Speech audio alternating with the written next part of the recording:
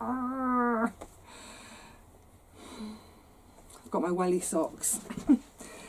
got my wellies. Let's get them on. My wellies, a few days ago, last time I was here, I went to put my wellies on. They were full of water because the shed roof was broken. Tipped the water out, and I've kind of had them upside down. So hopefully they are. Um, a whistle. They are dry to put on today. The reason I'm sort of going grr is the forecast said today was going to be dry all day until about six o'clock. Then we're back to lashing rain, and we have yet another storm coming in, and I think it's due in two days. Oh, my heart, my heart goes out to everyone who's been flooded already. Um, I have experienced flooding. I know how traumatic it is. It's hideous. So, this storm that's coming in on, I think Thursday, I can't remember what name it's got. It begins with C because it's always alphabetical, isn't it? It's like Ciarán or something. Um, yeah, it's it's going to be tons and tons and tons more water landing on ground that's already full, saturated. I fear there may be more flooding. You know, I haven't, I can't remember the last time we had an October that was so wet. It's actually October the 31st today. Happy Halloween, woo, everyone, um, which is the perfectly appropriate day for what I'm going to do today. But yeah, I think um, we won't get rec- not records. We won't get um, the summary of the month until tomorrow because we're still in October. But I've I've got a feeling. Sorry, I'm just trying to just getting my socks and wellies on. Yeah, I've got a feeling when they summarise this month that it's going to be they're going to say one of the wettest Octobers on record. Yeah, I, I honestly I can't remember an October so wet. Now, because of that, um, just trying to remember, I think I've only had two garden sessions. So, do you remember when I showed you the tour, the disaster tour? I can't remember what date that was. It was about the 10th of October. It's about three weeks ago. So since then, I've been back. I did that kind of emergency harvest of the dry beans, thank goodness. um, the last of the courgettes, etc. Then I had another session, one more session down here where I was cropping and dropping um, a few of the beds, I think three, and getting them covered with cardboard. I think I might need to put some more bricks down on the cardboard because this storm that's coming. Actually, this is maybe something I should point out for our North American viewers or anyone around the world in the UK, generally, when we talk about having a storm, we're talking about um, high winds, gale force winds, high winds, and lashing rain. Sometimes it's just the high winds without the lashing rain, not very often, but yeah. So when we talk about a storm, we're talking about high winds, lashing, lashing rain. We don't tend to get snowstorms here. I know we had the beast from the east in 2018, was it? So we don't tend to get snowstorms, we don't tend to get ice storms, we don't tend to get those kind of those cyclones coming in from the sea. Is, I can never remember it's typhoon or cyclone when it comes in from the sea. Um, we do get hurricanes in the UK, but they're little. In fact, I think I don't know if I saw this on QI or somewhere. It's where I get all my facts from. But uh, something crazy like per square mile, we get more tornadoes than anywhere else on the planet, but they're just, it's because they're so tiny and they are rarely destructive that we don't take any notice. Anyway, yes. So I might need to weigh that cardboard down a bit more in advance of the storm because the winds are going to be pretty bad. Um, so yeah, it's a bit disappointing, frustrating that I haven't made I really haven't made any progress in the garden since I showed you in that tour of just how shockingly bad it looks at the moment.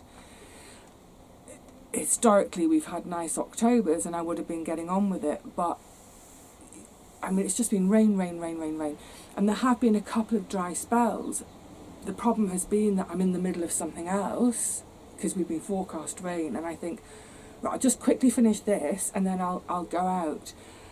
And then five minutes later, the rain does come, or by the time it takes me about 20 minutes to get to the garden, by the time I get here, it's raining. So on my way today, it's supposed to be a dry day all day, it started raining. So I've taken my hoodie off, hanging it there to dry a bit. All that's by way of saying, fingers crossed, I can share today's harvest with you out there. But if it starts chucking down, I'm just going to have to do it and show you the harvest later because today it's the squash harvest. Yay! My guesstimate this year is going to be low. I had, I had slightly fewer plants this year, so I'm going to guess 15. And 15 will be fine because some of them will be big, so there'll be more like four. We'll come to that when we come to it. So I'm going to guess 15. I have lost two already. Ah, this is something I saw on the way in, I'll tell you. I've lost two to, I think, foxes, and quite a few of my neighbours have experienced the same, and we all have concluded we think it's foxes. So they haven't been completely eaten, but they've had great chunks taken out of them, and frankly, I don't want to eat food that's had a wild animal's mouth around it, no matter how much I wash it. I just, I, I just think that's asking for trouble in terms of, you know, some odd pathogens getting into my system. Don't want to risk it.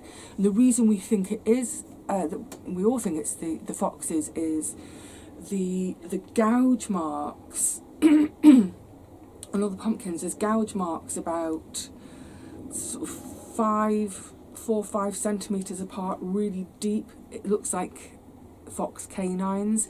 It's certainly a much bigger bite than you would see from either squirrels or rats. Um, and we don't have, uh, after squirrels and rats, we don't have anything bigger other than foxes. So yeah, pretty sure. So I've lost two. I haven't looked at the rest in the last sort of two, three weeks or so. There is little Miss Foxy. I see you, sweet, gorgeous girl. So when I've arrived today, we're having these showers, but it's quite bright as well. There is some sunshine, and the fox was in my cold frame, curled up in that big, that big black um, sort of seed tray trough that I put seedlings in. It's the place that I made a bed last winter for the cats. I'll probably do the same again this year. But what I need to remember to do is make the opening into there much smaller. So little Miss Foxy can't get in. I wonder if I can get a shot. Oh, she's about to jump down. She's on my neighbour's compost pile. She's very beautiful. But the foxes have been a pain in the backside. We are going to go out. I'm just waiting for these clouds to pass very quickly. Um, I think we have two vixens on this site, or at least who use it. Who they are they're either moving through it hunting, or they've made homes uh, sets underneath sheds somewhere. So there's two, and I think I've going on what I've seen, I think both of them have had two cubs. So that's two vixens, four cubs, that's six foxes. Plus there's obviously a daddy fox somewhere, so that's a seventh fox. That's seven mouths to feed. There's not a lot around here. Obviously there's bins in all the streets, there's all the bins, they'll go in the bins. But yeah, I think maybe that's why they've been particularly naughty this year, is we've just got a, a, a bigger population this year. But yeah, those cubs in the summer were so naughty, leaving gifts, rampaging through the plots, pooing everywhere. The pooing has ceased, thank goodness. So I think it might be time, is it clearing up, to go out and see. So my guesstimate is 15. What's your guesstimate? Fingers crossed I haven't lost any more. Well, you can clearly see the sun's come out to play. Woohoo! So, this is some of them but we're going to start over there in the big bed and that's where I've lost a couple. Right, I'm giddy. what did I guess? 15. What do you all guess? Right, I'm going to stick you on the tripod. I'm going to grab my secateurs and we get stuck in.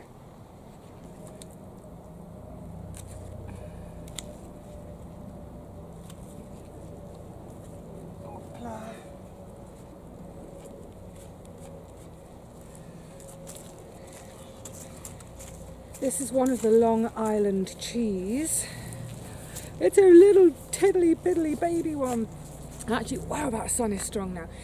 I actually don't mind it being on the small side. Uh, it just makes it. I can't see you because of the sun. It just makes it a bit more practical in terms of once I cut into it, I'm not trying to use up a massive, massive pumpkin all in one go. So, Long Island cheese, I'll talk more about them when they're all harvested, about their different qualities. This is the small one. I had one that was from here, yay big, destroyed by the foxes. Likewise, oh, oh no, is this? Ah, ah, this. This is a ooh la la Muscat de Provence. Beautiful deep orange flesh, but I don't know if you can see those gouge marks. With this, that oh, I'm wondering whether to just chop it in half to try and save some. I might do. Then these pesky foxes. This is also another Muscat slightly smaller, but undamaged. That's the main thing. So when I'm harvesting them all, I'm leaving a little chunk of stalk on. In terms of storage, this is the weak spot. You don't want to lose your stalk because then it's sort of where we've got this skin and it'll get harder and harder in storage. This skin is acting like the packaging and as it cures and gets harder, even better. If the if the stalk snaps off, if you're doing your harvest, you've probably done it by now anyway, because I'm so late. But if you've done if you've knocked any stalks off, they're the ones to use first, because underneath there it's soft. That's going to start to rot. Uh, so yeah, get them used up quickly.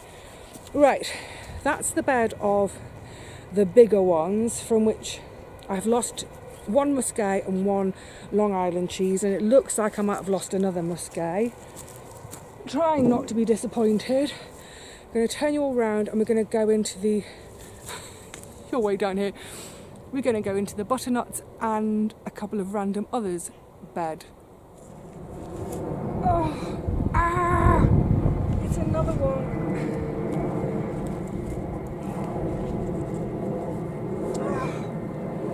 This is jack o' lantern. It's your kind of traditional um, Halloween carving pumpkin. I don't carve, these are for eating, but look, oh my goodness. Oh, and there, that I think might be slug.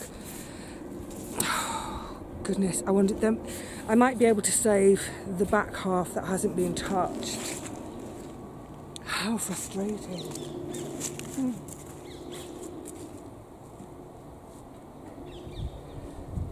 I've got a couple more of those I will get in a minute. Oh no! No, no, no, no, no. This is, this was sugar plum. I think, is that slugged? Oh man. I'm not even going to bother taking that home. And then I've got a few of the little, these are little golden nuggets. That looks whole. oh, good grief. And then the rest are butternuts.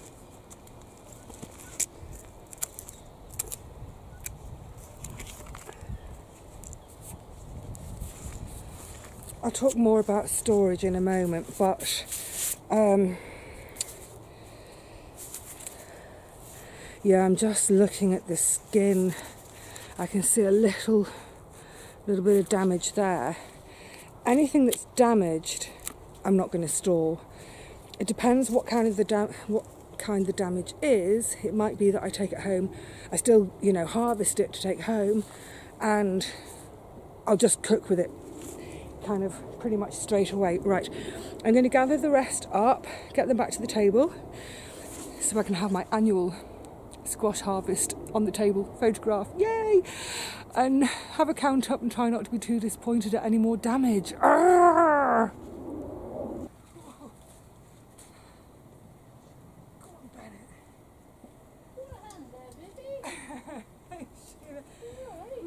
squash harvest. Yeah. Oh, half a barrel is almost good. It's so light. Ta-da! it's better than nothing, isn't it? Um, so I've ended up with six duds, six that have been so damaged. Um, yeah, not worth it. And here, 19. Yay! So it's a little bit better than I thought. Better than my 15.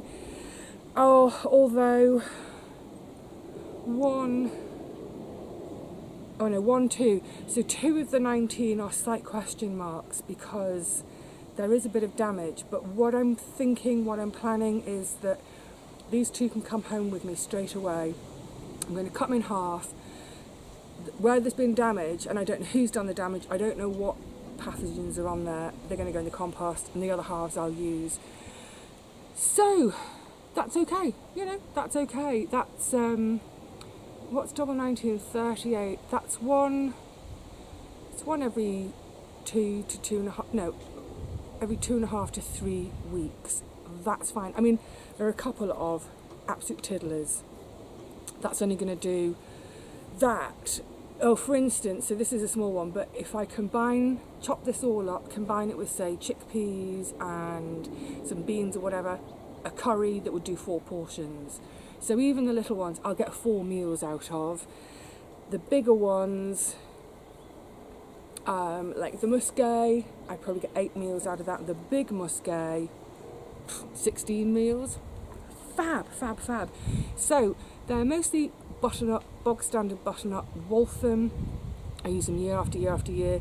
These seeds came from the seed co-op, seed cooperative. Unfortunately, they are no longer. You might try someone like Tamar Seeds, they do organic seeds, or my brain's gone blank, sorry, never mind, never mind seeds, let's focus on the harvest. So, in terms of storage, uh, I'll gradually get them home. We're not due a frost. Just looking at the next two weeks of forecast, as the first two weeks of November, in two weeks' time we'll get down to three degrees in the evening. They'll tolerate three degrees but I will try to get them home over the next two weeks. I can't get them all home in one go, too heavy. Once I get them home, I'll simply clean off the worst of the mud, do as little as possible to them, exactly like I was saying out in the field, out in the field, what am I talking about, out in the garden, about the skin is the precious bit. This is our packaging. We don't want broken packaging to store our food in, so the minimum amount of, of cleaning, just a wet wipe, get them clean, and cleaning them, that's just really for my convenience of storing them at home because they'll go under the bed, they'll go in the back of the wardrobe, don't want mud everywhere. So a bit of a wipe, clean, and that's it. That's the magic of squash. We don't have to use electricity to store them. We don't have to freeze them to store them. They literally will get bunged away in a corner somewhere um, and forgotten about. Well, not forgotten about. I know they're there and I'll pull them out when I want to use them Butternuts store really well and they'll store for, oh, I mean, well over a year. I've had butternut store and I've then eaten one 14, 15, 16 months later. Great, they store really well. Other varieties don't store quite so well. Hey Rosie, so I've got the Long Island cheese, the Muscat de Provence. They don't store quite so long. I've not gone beyond six months with either of them, so they'll be the first to use up. Besides, the Muscat is one of the ones that's damaged, so I'll use it anyway. Likewise, when you've gathered your harvest together, anywhere you spot there's any damage to that skin, set them aside to use within the next few weeks. Don't store any with a damaged skin. So good, that's storage. And I think what I'm going to do now is start to get this lot home and then when we get home I'm going to just run through a few recipe ideas for you all because it's that time of year. You know it's that thing isn't it about seasonal eating?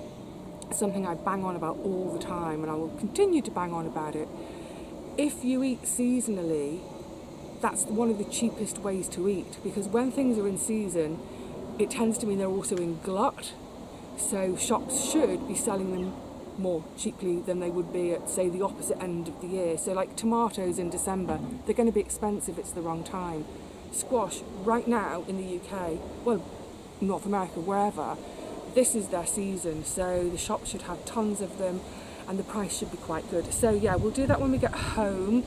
If it get cold, really quickly, I don't know why I'm speeding up. And we'll go through some recipe ideas and if I think of anything on my way home that I've forgotten about storage. Oh, taste, just a quick one on taste. People always say to me, oh, how does it taste? What's it like?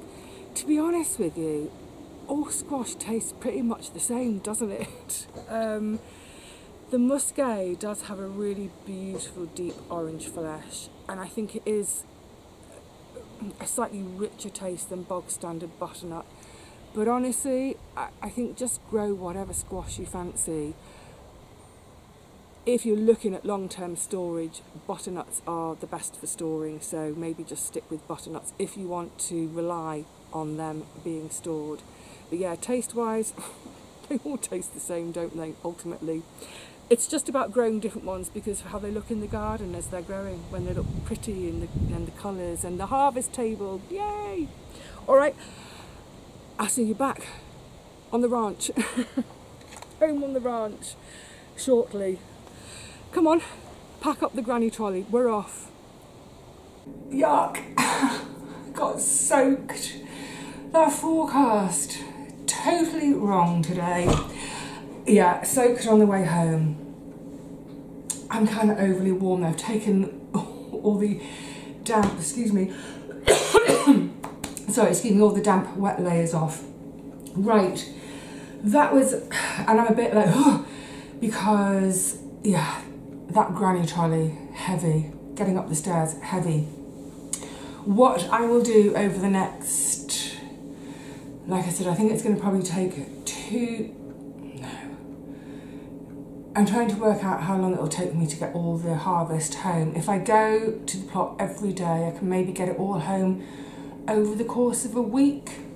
Yeah, and hopefully that should beat, well, we're not due a frost, but you know, that really cold weather that's due at the end of the second week of November. Right, get your thoughts together. So, um, a couple of things I forgot to say outside the shed. Um, one was about ripeness. Oh, the Granny Charlie's still out in the hall. I haven't got a squash to show you. People talk about the stalk being kind of corky. It turns like, it's sort of like wood but light, you know, you tap on it, it feels really dry and brown. Generally at that stage, you know your squash are ripe rather than when the stalk is still green. But when I show you the Muscat de Provence, that's the that was the really big ones with, with the ribs and it's the sort of the green well when you saw them today they're green they do eventually turn orange so what I will do with the Muscat de Provence, and there are a couple of the butternuts, which I think they just came on a bit later than others. So they're still a little, they're a bit pale, mm, they're not quite there yet. I'll simply put those in my front window, in the sunshine in the window, and they will continue to ripen there. Excuse me. Last year, one of my muscades, I had, I think it was around about March time by when it was completely orange no green in sight so yeah any that are a little bit unripe I'll put them in the window they'll finish. But to be honest I, they'll just go onto the they'll ripen even under the bed. So in terms of storing like I said they just go under the bed back of the wardrobe basket in the kitchen fine. However if I cut a big one open oh I was really glad today as well because Sheena was down at the at the allotment today. And so when I was wheeling the barrow back to the shed, that's that's whose voice you heard. I was looking at all the large ones and looking at the ones that are damaged and I need to cut into them straight away to save what I can. And I, was, I thought, there's too much here. I can't do all of this in one go. So I thought, you know what? I'll give them one, one of them to Sheena because I'd asked her how her squash had done. It hadn't done great. I don't think she'd got any. So I said, look, please have this one because with those big ones, once you cut into them, you're going to have to use it all up, you know, pretty much straight away within two or three days. So, with the big ones, how on earth do you manage them in terms of storing? Because, especially if you're on your own or there's just two of you, you're not going to eat an 8 portion, 16 portion squash all in one go. The easiest thing to do um, would be skin the rest of it, chop it, cube it up, you know, scoop out all the seeds, do all the chopping, that sort of thing freeze it. I like to freeze mine chunked up. Um, it just means that they're sort of quicker to cook when I come to cook. Now, if you do that and you freeze them, the, the texture isn't great when you take them back out of the freezer. But that's fine if you're doing something like soup that you're going to blend anyway. So think of any pumpkin recipes where, or squash recipes where you're going to mash that pumpkin squash up. Look, if I say pumpkin, I mean pumpkins and squash. If I say squash, I mean squash and pumpkin. I've got pumpkins on the brain because it's Halloween. Um, yeah, think about recipes where you're going to mash the pumpkin anyway. So freezing them, not an issue.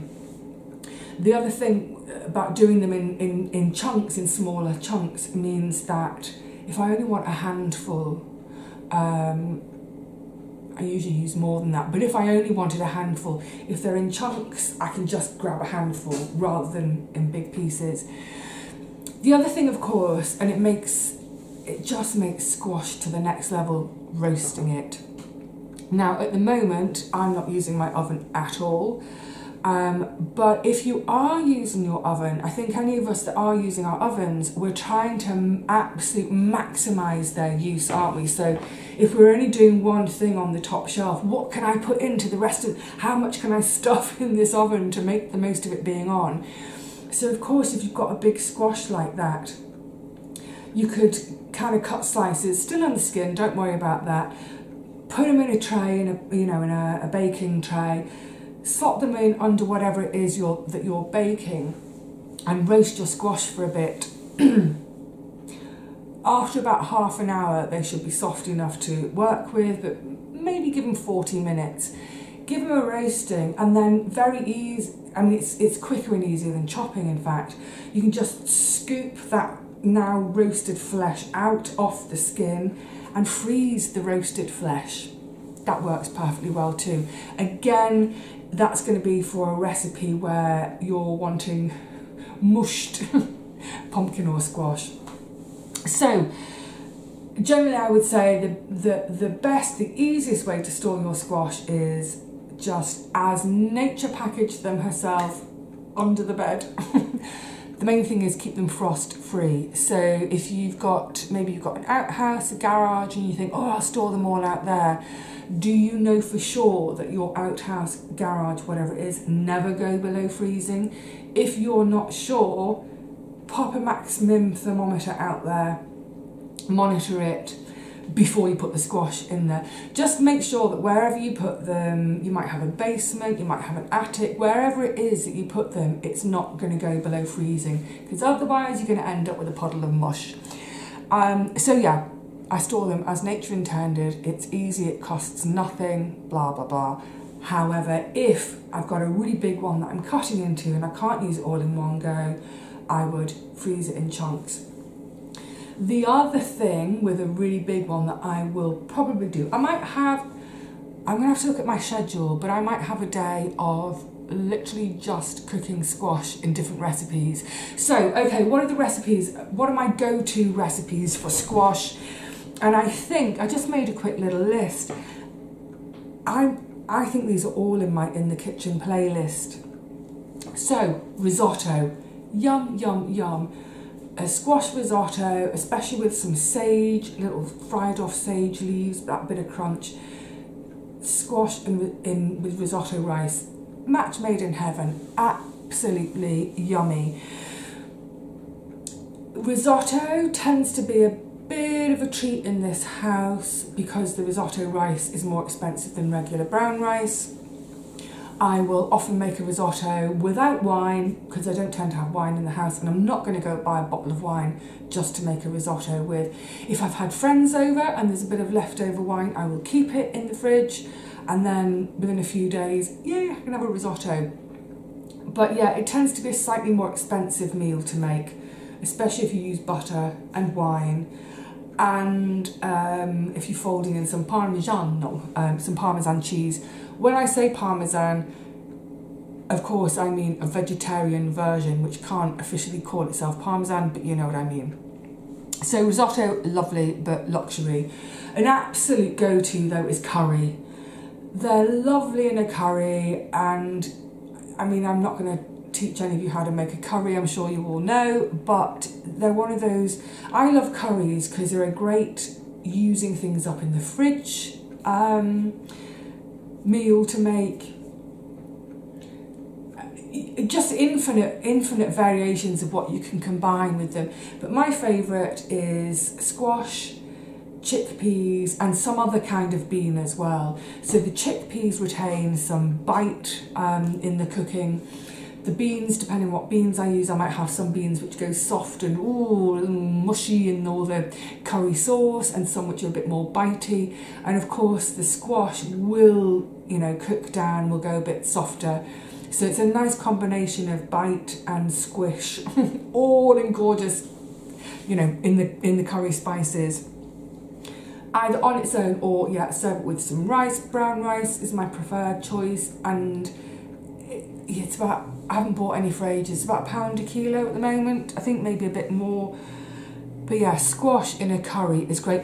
And so that's what I mean about chucking anything in. If you've got some squash, maybe you've got a tin of chickpeas, chuck them in.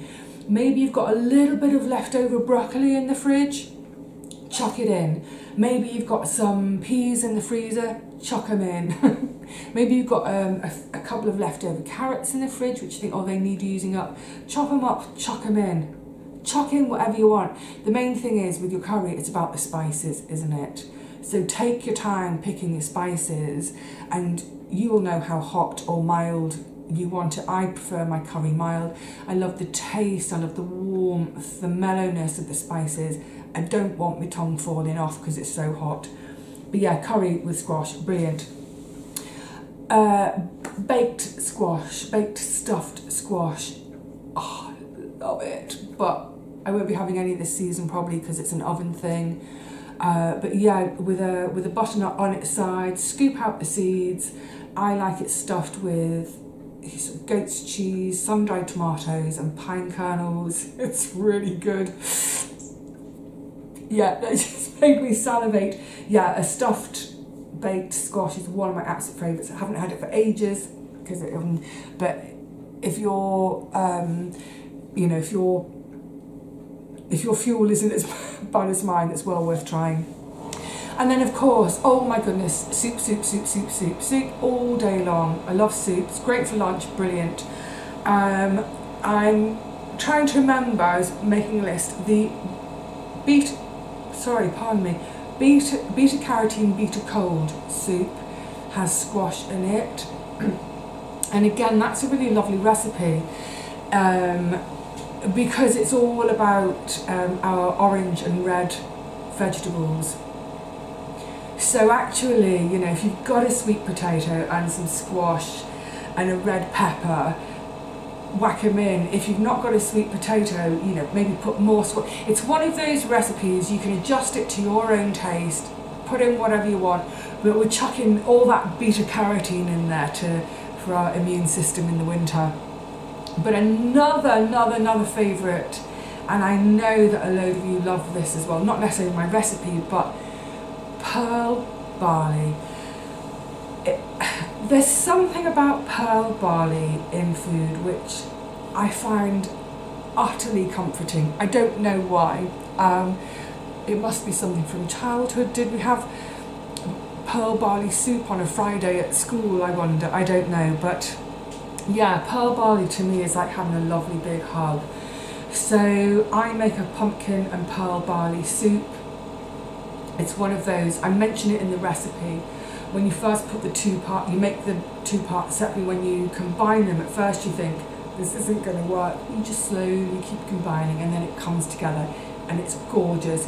But what I would say with the pearl barley is a lot of folks say that pearl barley gives them a, quite an upset tummy, as in flatulent, so you can get really windy, quite gripey tummy from it.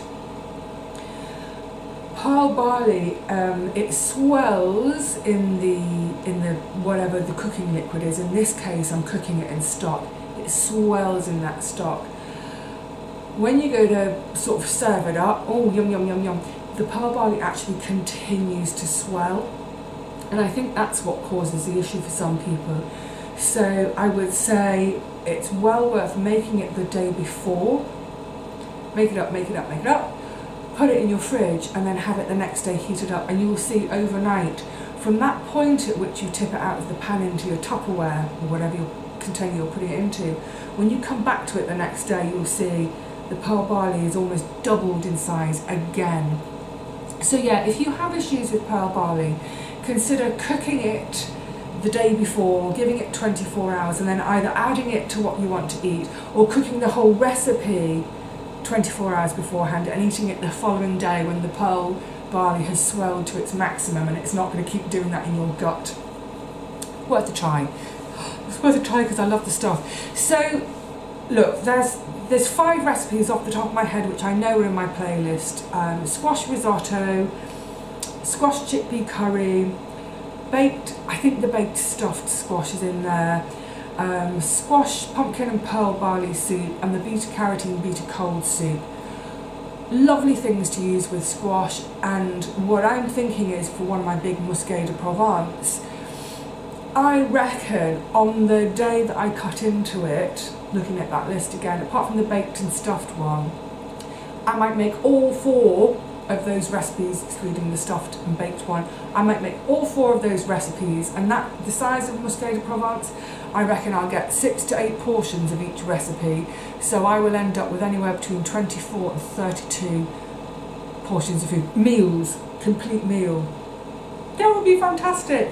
So I'll have to little, have a little look at my schedule and see where I can have a completely free day because it will take me most of the day and then most of it, ah, I need to have a rejig of the freezer. The beans are still in there, they need to come out. But yeah, most of it will go into the freezer and a little bit for the fridge for the following few days.